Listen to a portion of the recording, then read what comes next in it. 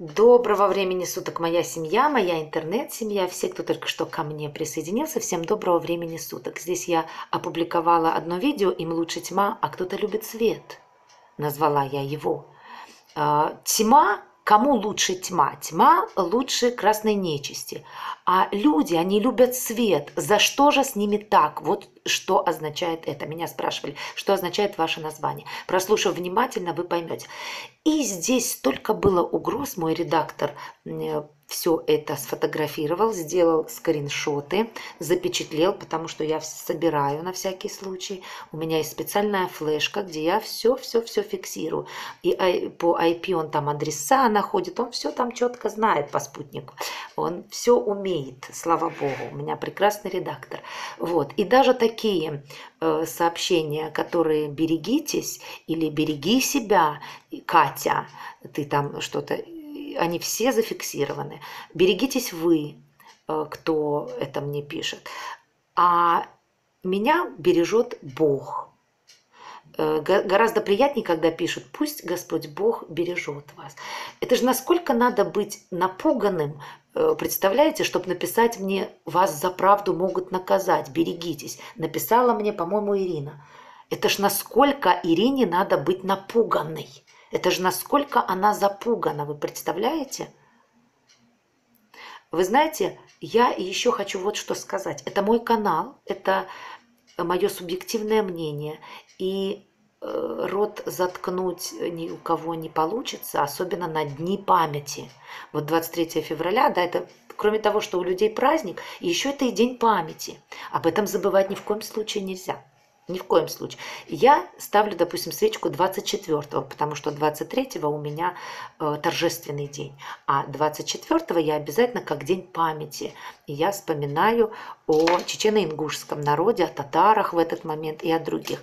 Эм, допустим, у нас другой день, э, когда Голодомор был. Но тогда я вспоминаю обо всех, в том числе и о поволжских, э, и о Поволжье голодающих, обо всех абсолютно. И эти дни нельзя забывать. Вот смотрите, я всем своим деткам обязательно о них рассказывала. Обязательно. Я рассказываю всем своим знакомым, друзьям, ученикам, абсолютно всем, кто меня окружает, они все знают об этих днях. И, конечно, делитесь этой информацией, потому что как стиралкой начинают затирать, рассказывать только 41-45, как фашистскую нечисть гнали, но при этом забывают, как в 44-м, пока гнали мужчины, пока все мужчины были на войне и гнали фашистскую нечисть, в этот момент красная нечисть вот так вот сгоняла людей в 44-м, когда не было мужчин, вот так вот сгоняли женщин, детей, стариков, и грузили вагонами как скот и отправляли в Среднюю Азию, Казахстан и отправляли в Сибирь. Это было страшно жутко. Я вижу, как сейчас также запуганы люди, потому что, ну, очень мало было свидетельств. То есть люди не хотят помнить свою историю. Но я не могу забыть историю своего э, деда, отца моей матери да, история, которая закончилась 36 лет.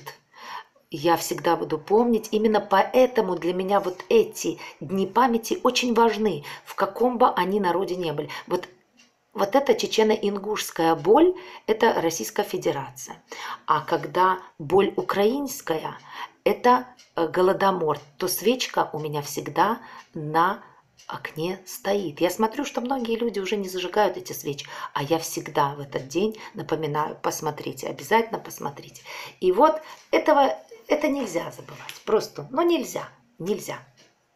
Иначе как стиралочкой подтерли. Вот тут мы подотрем, будем помнить, а вот тут мы не подотрем, здесь так надо, а вот тут дальше опять подотрем, а вот тут не, нет, нет, нет, дорогие мои, так дело не пойдет.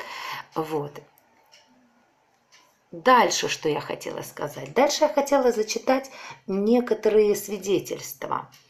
А, например, вот кто нам написал. Мне очень, э, меня очень радует, что очень большое количество людей поддержали в э, этом. Вот Светлана Гончарова написала «больно», Оксана Жатикова, Светлана Хома. Вот, например, Оксана Жатикова написала «Доброе время суток, Катюша, низкий поклон вам, Божьего благословения всей вашей семье, интернет-семье. Вечная память погибшим, это коснулось каждой семьи». Наталья Андреевска написала «Не дай Бог, чтобы те чудовищные дни вернулись, не дай Бог». Вот именно поэтому, Наталочка, именно поэтому мое сердце беспокойно в эти дни, беспокойно. И зная эту дату молчать, ну как это так? И представляете, в этот день э, именно под этим видео было очень много угроз, которые редактор мой удалил. Но сделал скриншоты обязательно. И не только скриншоты. Дальше Наталья Андреевская пишет. «С Масленицей всех, люблю вас. Пусть Господь обильно благословит вас и ваших родных и близких людей, и наших интернет-сестренок, братишек, здоровья, счастья, благополучия, любви, радости, удачи всем людям». Я принимаю такие замечательные благословения и э, передаю всем привет также. Мадиночка пишет, доброе утро, каждый раз узнаю страшную советскую историю. Вот, пожалуйста, вот Мадина, она не знала эту историю. Мадиночка не знала эту историю. Вот теперь она узнала эту историю. Вот даже ради одной Мадины стоило мне сделать это видео. А представляете, сколько не написали и узнали об этом через мое видео. Вот так. В школах об этом не рассказывают. Там замкнули. Вообще просто полное какое-то замыкание. Галя Швайба пишет, низкий поклон погибшим, пусть им будет земля пухом. Вот так, они же не виноваты.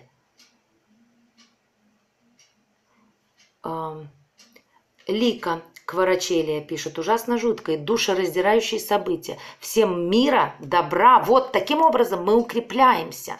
Не дай Бог никогда никому на свете такого еще пережить. Вот именно из-за этого, вот видите сразу, какие фразы у людей рождаются. Не дай Бог, вот именно. Вот именно. Страшно, когда кто-то говорит такие фразы.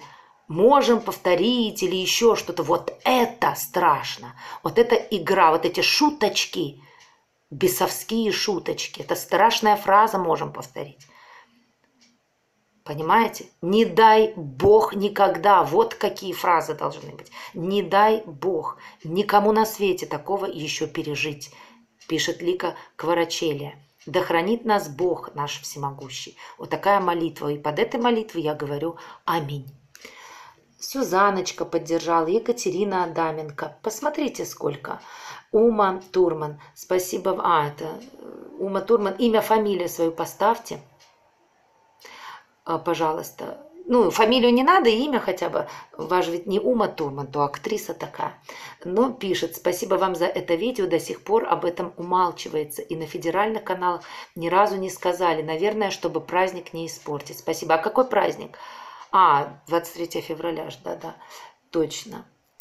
А, дальше.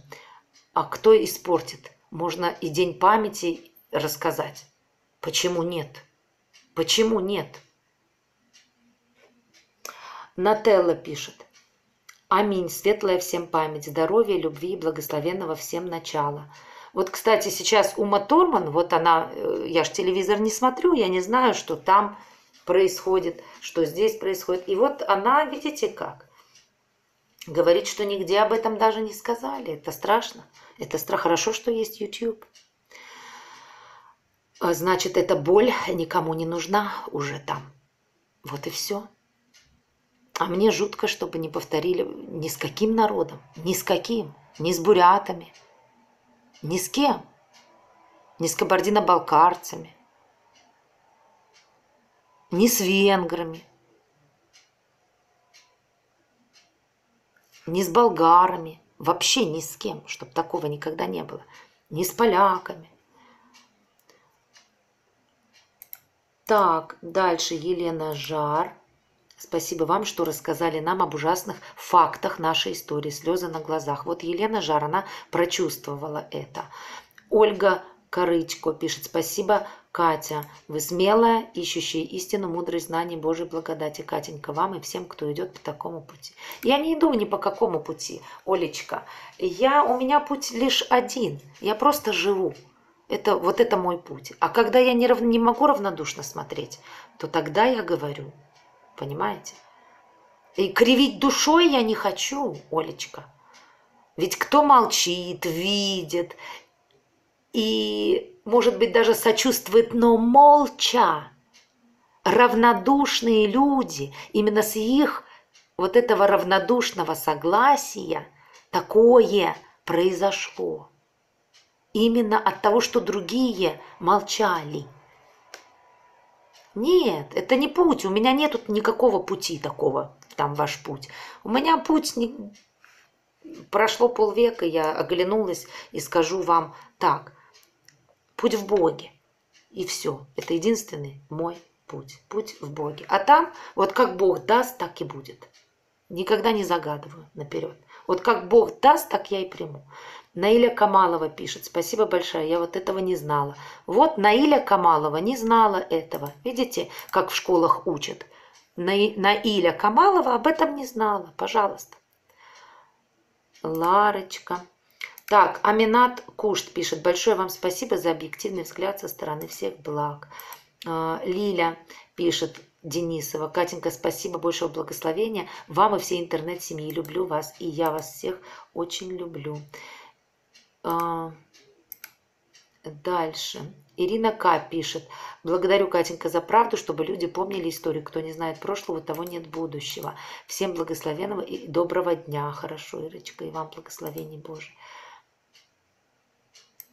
Э, Бакиров Ау Бакир пишет, люблю вас, спасибо, как вы, кстати, спасибо вам, сейчас то же самое. Да нет, слава богу, сейчас не то же самое, слава богу, сейчас не так.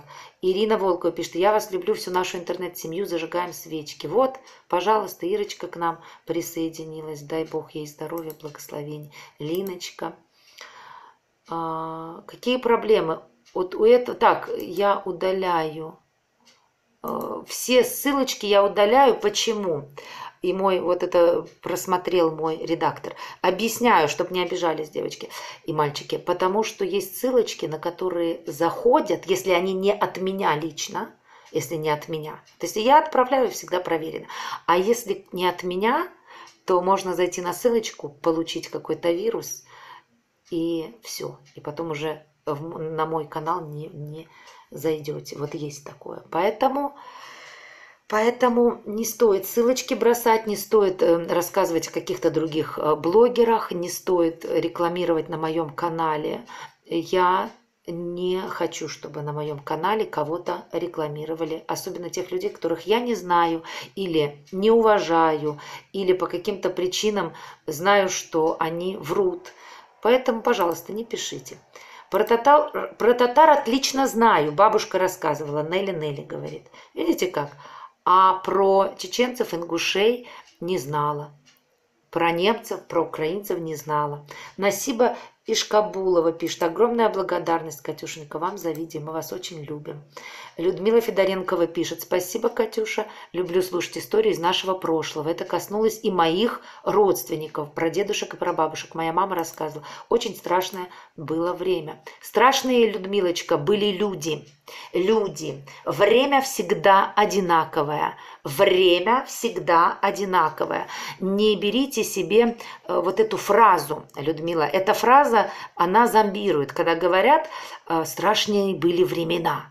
И таким образом говорят, типа вот тогда да, а сейчас нет, все замечательно. Это фраза для тех, кто легко поддается зомбированию. Нет, это не времена, это люди, страшные люди. Они себя довели до такого состояния, что на их глазах в 1944 году, когда гнали фашистскую нечисть, пришли, и вот этих людей, детей, беззащитных, без мужчин, стариков и их выгоняли, вот их гнали, гнали, туда, где они вообще не знают, выживут ли они или нет. Это, это жуткая история. Жут, жуткая история. И те, кто гнал и, и, и исполнял преступные приказы, они должны, обязательно должны понести э, наказание, и их народ должен осудить, осудить. Подождите еще. Вот эту красную нечисть должны еще осудить. Я всегда об этом буду говорить, ну, пока жива, по крайней мере. Всегда буду об этом говорить во имя памяти моего деда во имя памяти каждого пострадавшего и во имя того, чтобы этого никогда больше не случилось.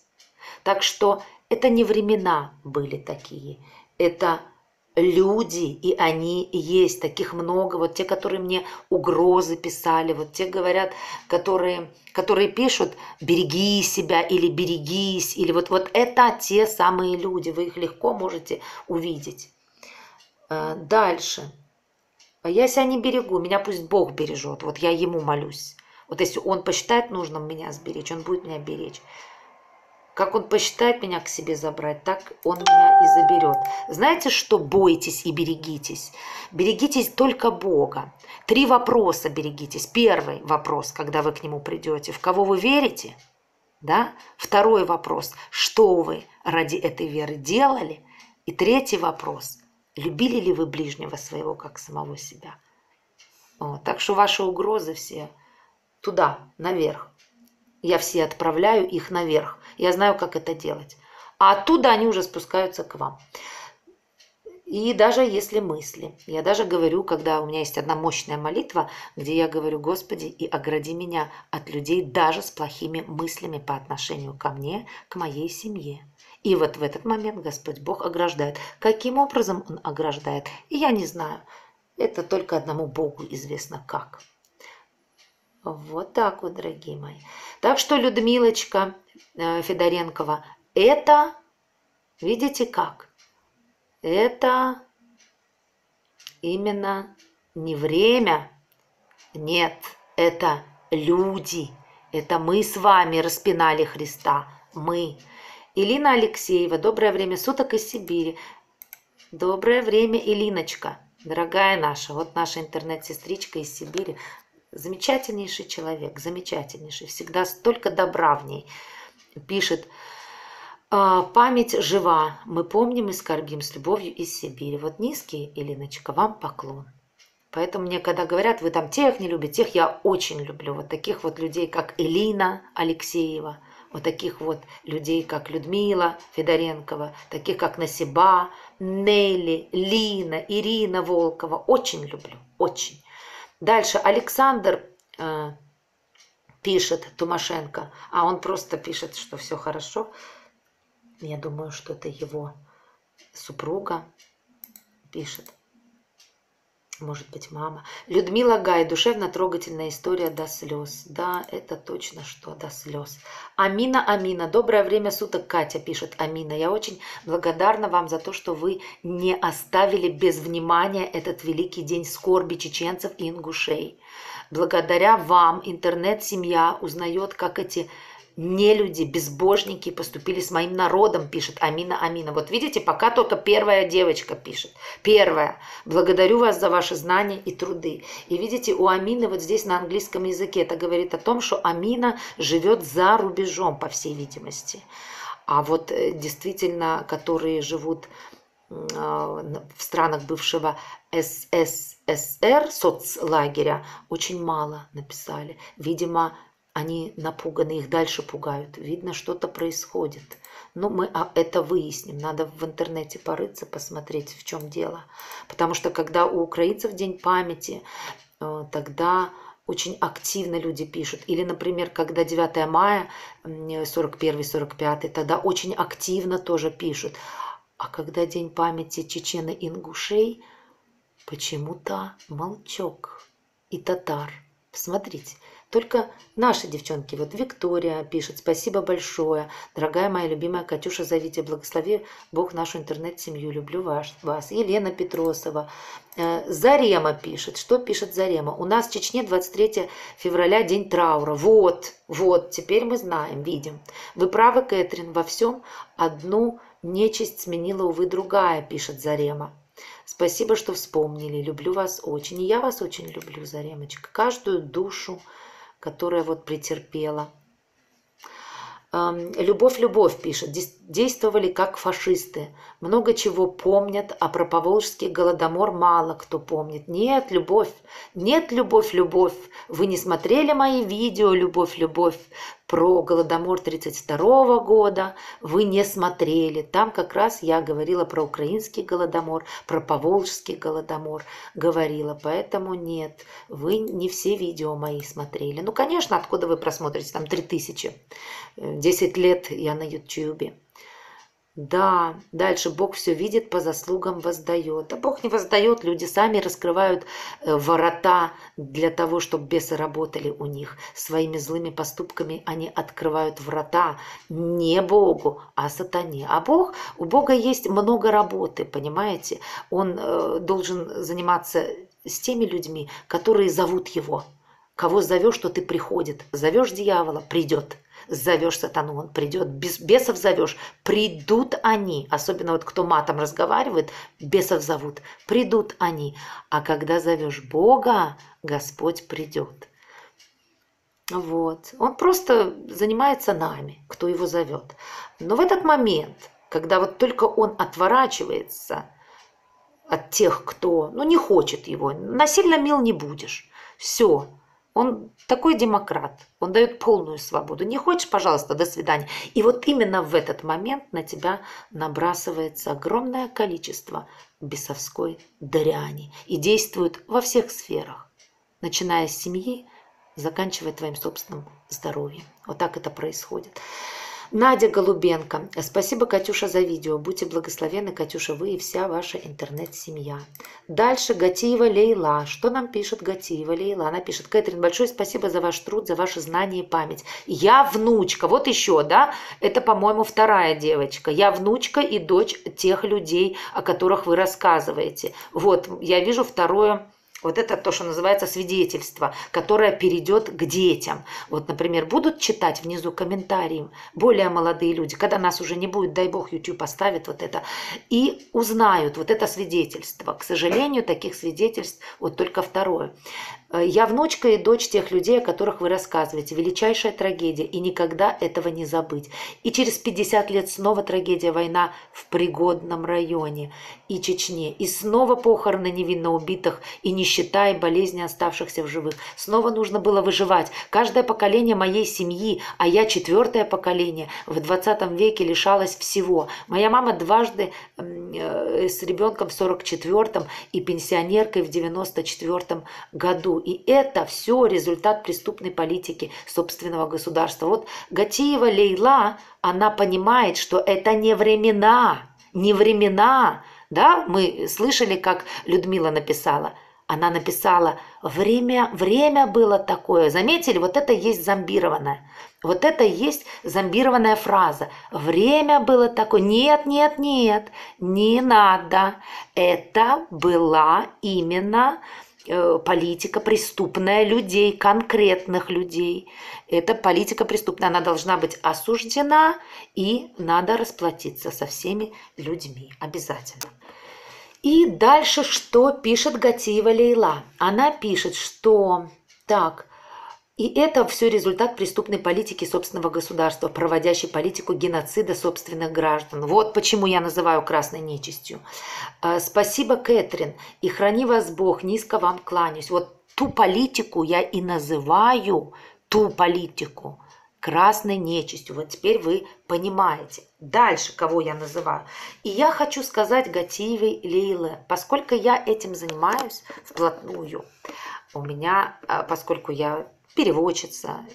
Как я говорю, как мне говорят, кто вы? Штукатур-маляр. Уже высшей категории, можно сказать. Вот, поэтому у меня там просили, кстати, ссылочку на английский канал. Нет, я не дам ссылочку, потому что там то же самое. Все то же самое. Например, День памяти, и там на английском языке тоже День памяти. Я рассказываю своим подписчикам. Там многие люди, с которыми я общаюсь из посольства и так далее. Э, я им делаю переводы. Вот. И я хочу сказать Гатиевой Лейле, что 26 апреля было 1991 года закон номер 1107. Пусть она себе запишет. У меня есть хорошие юристы, хорошие юристы. И вот они мне рассказали про этот закон от 26 апреля 1991 года, номер 1107. Вот это вам, Гатива Лила, будет очень интересно. Это закон о депортации, да, политической клеветы и геноцида. Этот закон, он представлял право для репрессированных народов для восстановления территориального права, целостности, существовавшего а, до антиконституционной политики э, до насильственного перекрашивания, перекраивания границ, на восстановление национально-государственных образований, сложившихся до их упразднения, а также на возмещение, внимание, ущерба, причиненного государством, именно государством правоприемником. Вот я э, поэтому тоже не сижу сложа руки. Именно на возмещение ущерба, причиненного государством. Я хочу, чтобы вы это знали. Не сидите сложа руки. Зачем? Когда можно взять и написать, ведь э, есть специальные органы, которые не в государстве, они выше, это международные органы. Поинтересуйтесь у юристов толковых, международных. На самом деле были приняты прекрасные законы, и они действуют по сей день. Например, 2012 год было принято на заседании Госдумы о финансовой помощи репрессированных народов. Смотрите, почему я интересуюсь? Мне говорят, вот вы говорите, что почему РФ интересуется Украиной, но вы интересуетесь РФ, потому что РФ это правоприемница СССР, а я была рождена на территории СССР. Понимаете? Поэтому мне именно нужно руководствоваться этими законами, и часто мне приходится опираться на них. Вот, чтобы вы понимали. Э, я в таком возрасте, что я была рождена в СССР, и именно меня коснулись вот эти все невзгоды. Меня коснулось, может быть, больше, чем кого-либо, и до сих пор касается. И мне обязательно это нужно было знать, и международные юристы мне дают разъяснения – письменном виде, что в 2012 году было принято на заседании Госдумы о финансовой помощи репрессированных народам репрессированным. Запишите себе, кому интересно. И было выделено, внимание, 23 миллиарда рублей из бюджета для помощи политзаключенным. Эти деньги должны были пойти в качестве компенсации. Так что я, например, рассчитываю получить компенсацию. И моя семья все, мои сестры, мои братья, все должны получить компенсацию. Э, кто уже получил? Я вот сейчас, что я делаю? Я собираю информацию, мне нужно знать, кто получил, для того, чтобы поделился опытом. Хоть кто-нибудь получил что-то из этих 23 миллиардов – а то, вы знаете, когда э, говорили, что это правоприемник, и потому передайте все ядерное оружие правоприемнику СССР, молча все подписали и передали все, у кого было какое оружие, в том числе и Украина. А теперь вот есть такие международные законы, вот, например, вот этот закон, он мне очень важен. Поэтому у кого была, э, вот Гатиева Лейла написала, что ее это коснулось, я хочу спросить э, именно Лейлу, получила, сколько она получила в качестве компенсации, как исполняется этот закон, кто получил? И э, в какой кассе можно получить реально деньги были выделены. Это было сделано еще раз в 2012 году. Большое спасибо, что это было э, сделано. Реально. 23 миллиарда рублей из бюджета. Но куда они пошли? Должны были пойти в качестве компенсации. Вот это то, что мне прислали, что я э, узнала. Так, вот я делаю ссылочку для того, что вот утверждено постановлением правительства, то, что я говорила, 92 э, от 16 марта 1992 год, номер 160. Это все в открытом э, доступе, чтобы не говорили, что я там где-то взяла непонятно. Да? Все, вот положение о порядке выплат денежной компенсации лицам, реабилитированным в соответствии с законом. Вот все о реабилитации жертв политических репрессий.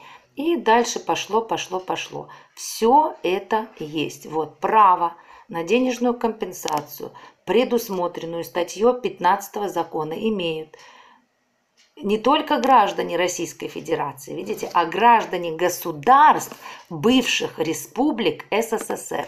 Еще раз внимательно, чтобы вы видели, не будьте э, не думайте, что я там что-то беру. Я докапываюсь всегда до источника, до самого. У меня есть юристы, которые вот это мне все скидывают, друзья мои, поскольку я также э, работаю переводчицей. Вот смотрите, граждане государств бывших республик СССР, другие иностранные граждане, лица без гражданства – подвергшиеся политическим репрессиям в виде лишения свободы или помещения на принудительное лечение психиатрические лечебные учреждения на территории Российской Федерации 25 октября 1917 года и реабилитированы в соответствии с законом, ну и так далее, и так далее. То есть вот все, кто с 17 года и выше, такое с ними происходили, в том числе 32 и 44 вот все опираться могут на вот этот закон. Ссылочку, давайте я вам скину ссылочку внизу под видео. Вот, я вам могу даже просто вот так зафиксировать. Вот, если не уберут право.gov.ru. Вот тут вы все это найдете. В принципе, можете прочитать, ваши адвокаты, юристы, они могут, вот я, видите, так вот вниз, вниз, вниз можете поставить на стоп, прочитать, а они потом найдут, распечатать себе. Вот, посмотрите. Все тут есть, абсолютно. Так что, вот дальше пошло.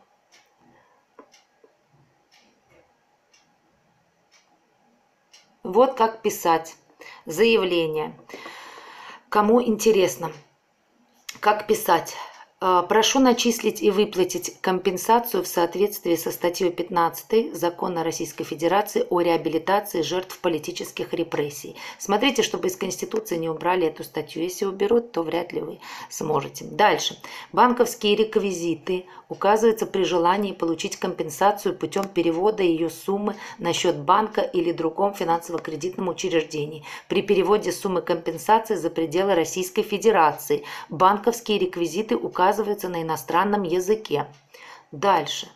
Эм, дальше пишется вот название, адрес, код банка, банк-корреспондент этого банка, если есть номер личного счета, приложение. Дальше.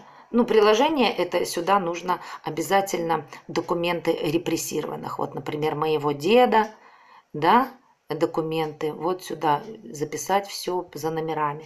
Дата, подпись, расписка, заявление и другие документы гр гражданина такого-то принял, тот, кто должен принять, регистрационный номер заявления, дата, подпись инспектора обязательно. Вот. И все. Вот здесь все образцы, пожалуйста. Все здесь есть. Абсолютно. Так что вот Лейлаша вот, моя дорогая, я вам э, такую делаю подсказку, что трагедия трагедии, слезы слезми, но э, они должны расплачиваться. Э, именно была выделена сумма, куда она ушла, она еще не ушла. Каждый имеет право. Поэтому, когда я говорю, что Э, правоприемник будет э, раздать это все официально. Это все официально, я говорю, не от неба беру. Понимаете? Дальше. Спасибо, Кэтрин, и храни вас Бог. Низко вам кланяюсь. Вот такие вот храни вас Бог, я, конечно, принимаю. А когда мне пишут «берегись, берегите себя, берегите семью», я фотографирую, берем, докапываемся до каждого IP-адреса, заходим. Слава Богу, у меня есть люди, разбираются. И дальше, дальше, дальше. Оставляем. Дальше Хеда Сатуева пишет, все это правда, это страшно все представить, но по рассказам дедов знаю много историй. У каждой семьи своя история. А по прибытию в Казахстан было не легче, пишет Хеда. Там и продолжение страшнее. Вот что пишет Хеда. А вот написать по, по продолжение она почему-то не написала. А ведь молодому поколению интересны эти истории. Это история, это страничка, это страничка памяти – Почему бы не написать? Вот я делаю еще одно видео именно для того, чтобы открыть вам глаза, что есть постановление, понимаете? Было принято на заседании о финансовой помощи репрессированным народам. Конкретно, всем. Просто не все обращаются. Дальше Лиля Зубик пишет.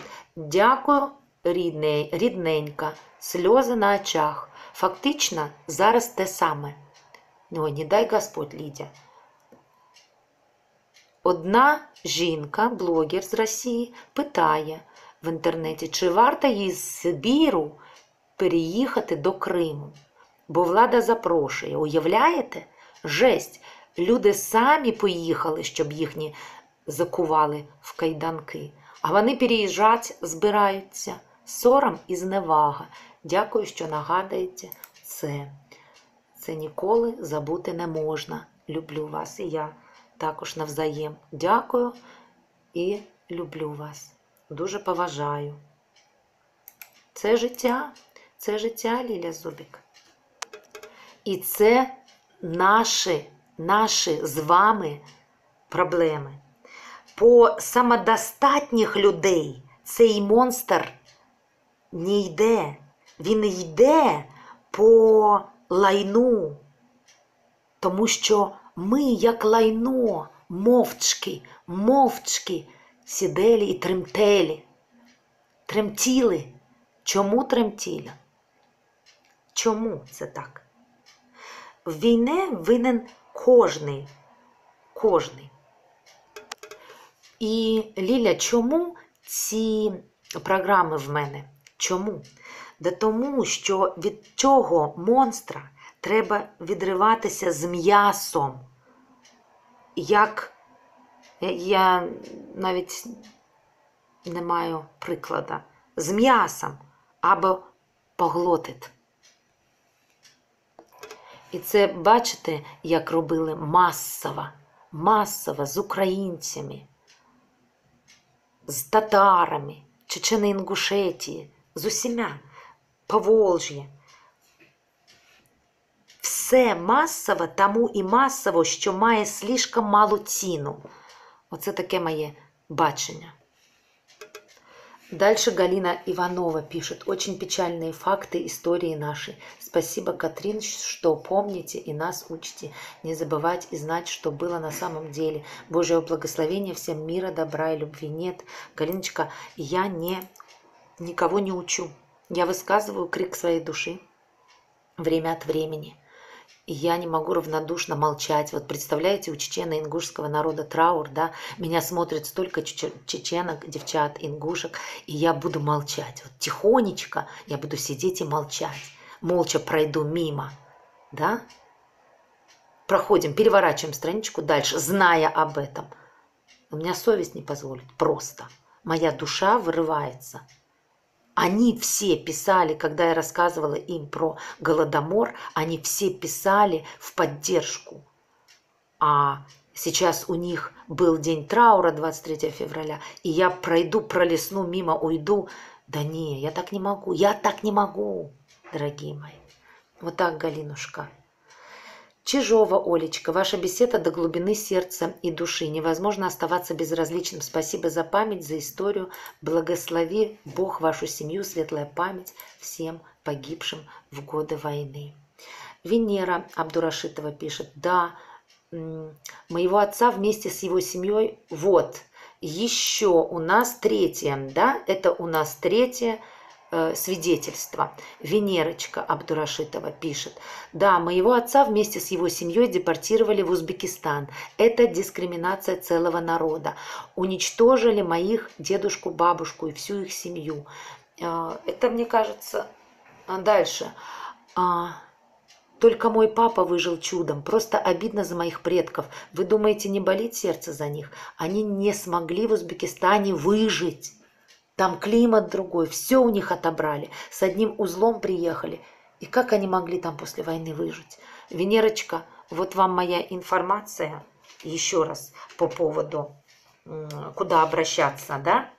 моя информация, закон 26 апреля 1991 год, закон 1107, 2012 год и э, зайдите на тот сайт, что я зафиксировала, верните видео обратно и принцип, как писать заявление, пишите, узнавайте э, и конечно же, не проходите, что называется, мимо.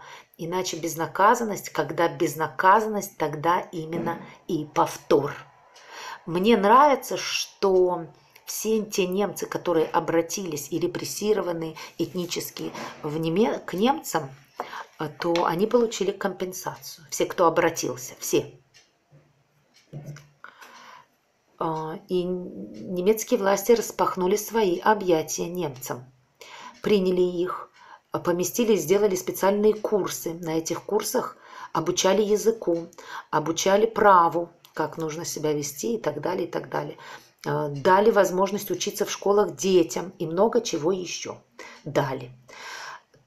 То же самое провели и Израиль. Они распахнули свои объятия для всех желающих, для всех, кому плохо, для всех вообще евреев, кто желает вернуться на свою этническую родину. И Таким образом, там сделали им специальные условия, где они могли выучить язык, где они могли получить образование для детей. И дальше все уже легко. Вот так.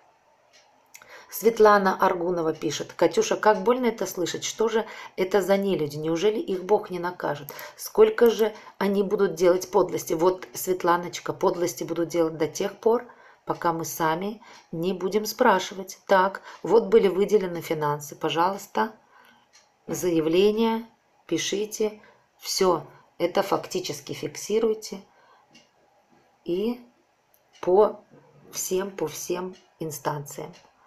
Вот и все. Дальше пишите, когда отцепится. Вот тогда и отцепится. Вот вам ответ. Дай Бог вам всего хорошего. Очень люблю ваш канал. Спасибо, Светланочка Аргунова. GC. GC.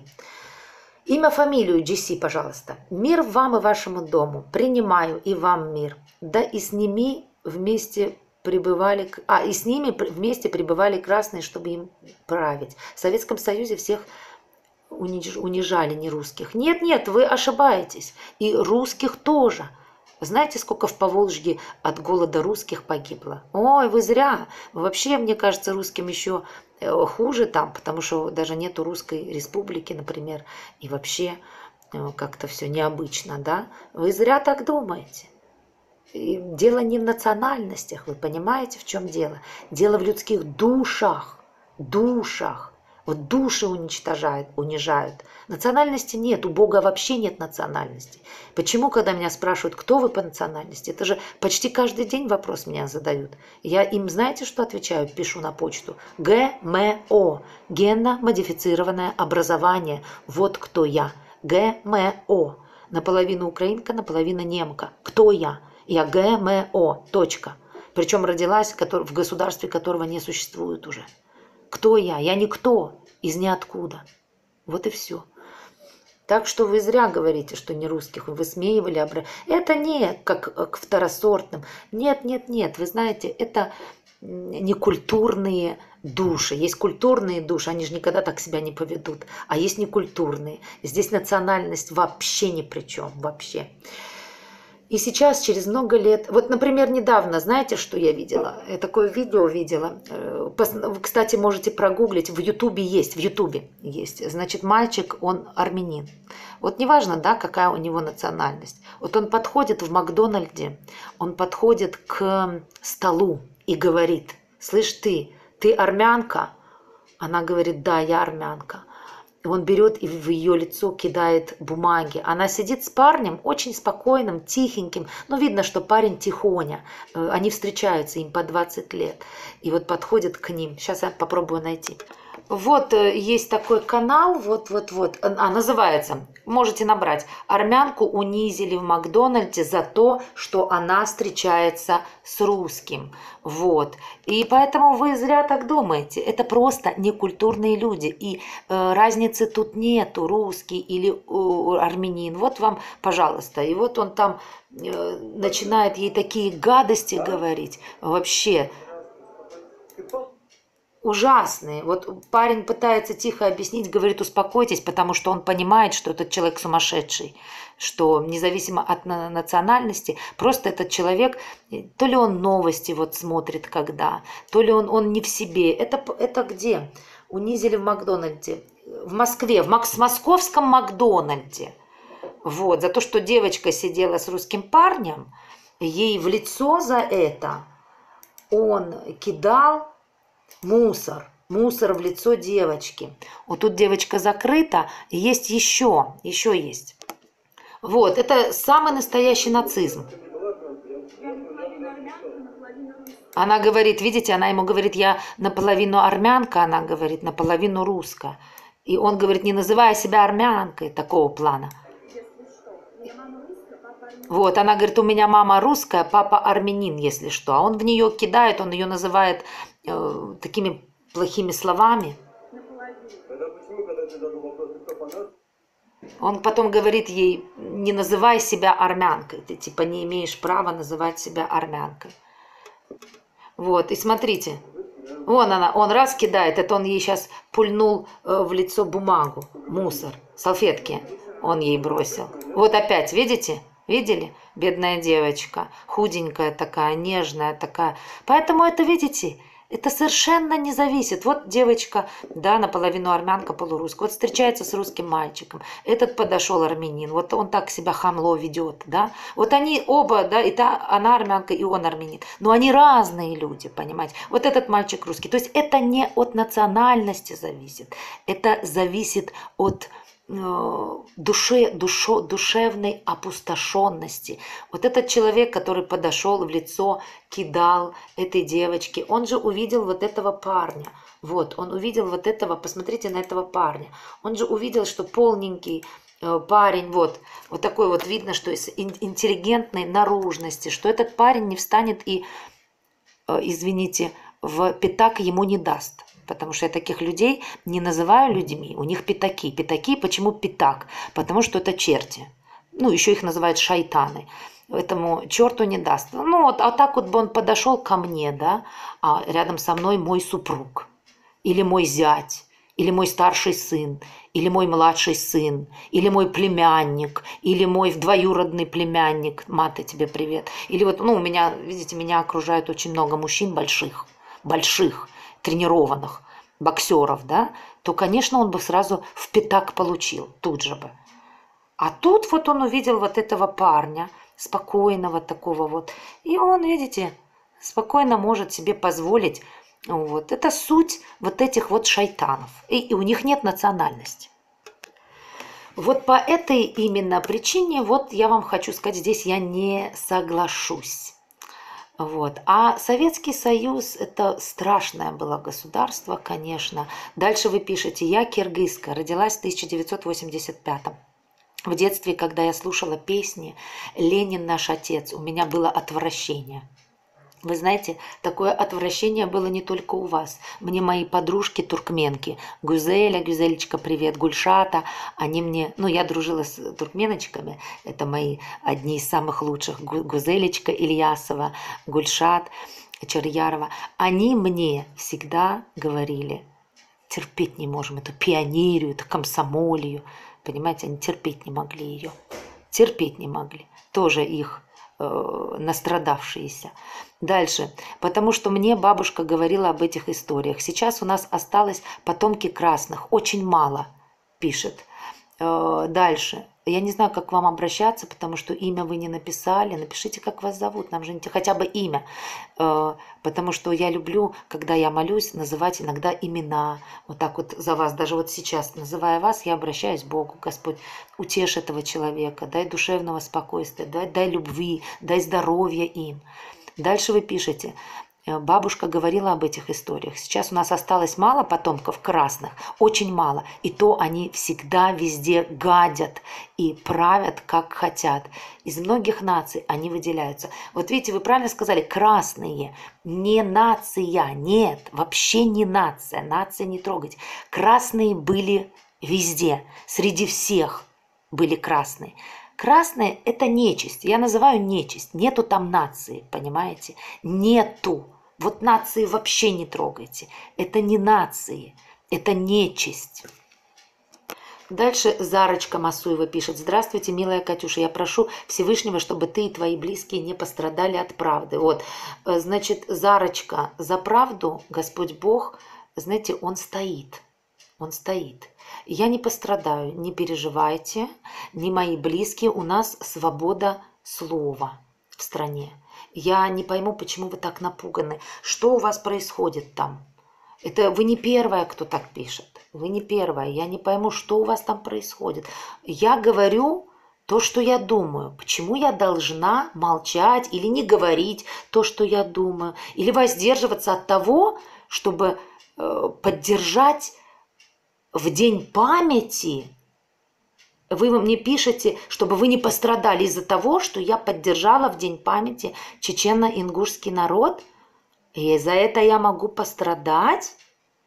Очень интересно, Зарочка Масуева. Я сделаю скриншот, потому что это на памяти должно остаться.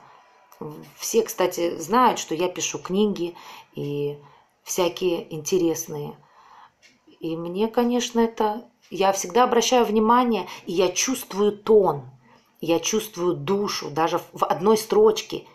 Вот когда пишут просто «спасибо», да, или «дуже дякую», или когда я слышу «да благословит вас Господь», вот это я вообще, мне это очень нравится, или э, такой, я чувствую душу человеческую. И вот вы здесь пишете сейчас, чтобы злой и коварный взгляд не постиг ваших... Что вы пишете такое, Зарочка? Господь Бог меня бережет. Господь Бог не тронет, поверьте мне, Господь Бог меня защитит. Потому что каждый день я к Богу прихожу к мощ... с мощнейшими молитвами. И даже вот сейчас, читая все благословения от людей, я произношу тем самым молитвы. Я говорю, Господи, защити и огради от злого языка, от людей даже со злыми мыслями, огради меня всеми теми жесткими воротами, которыми ты владеешь. И все. И все. И дальше все отдаю в руки Божьи. Но за что? Вы это пишете за то, что я поддержала чеченцев и ингушей? Вы в день памяти 23 февраля? А что, разве этого нельзя делать? За это коварный взгляд постигнет? Постичь? Не-не-не. Нет, Зарочка, я с вами вообще не согласна. И раз у вас уже до такого вот момента ваше мышление дошло, то пересмотрите, что-то у вас происходит не то. Да сбереги нас всех, вот вы пишете даже, даже нас всех от такого зла. Спасибо, девочка, за каждое твое слово, за каждую тему. Не имеет значения, кто откуда, всем. Кого коснулось это, родным и близким низкий поклон, наше сочувствие, наше родственное чувство. Спасибо нашей интернет-семье за сочувствие к беде. Я люблю всех, мои дорогие, с Масленицей, благословений Божьей любви. Спасибо, Зарочка, дорогая, Зара Масуева, дай Бог вам здоровья. И я прошу Господа Бога воззреть на Зару и защитить ее от ее страхов, и защитить ее от тем, тех, кого она считает, что ей угрожают. Я чувствую, что у этого человека есть страх. Причем очень сильный страх.